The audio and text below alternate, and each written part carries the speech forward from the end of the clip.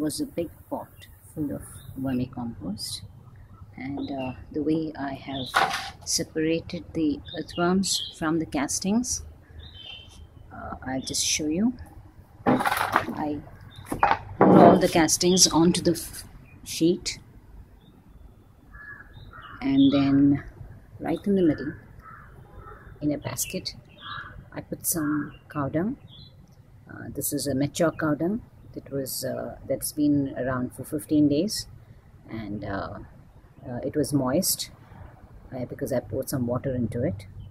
I squeezed out the ex excess moisture and then I I uh, put them into this basket and left it for a couple of days. Now let us see. I can see the castings here is all dry there's no moisture so definitely there are no earthworms here because they would all moved right there. So let's just pick this up and see what is the activity around there. Oh boy. You can see all the earthworms have moved into this basket or around it because there's moisture and there is food.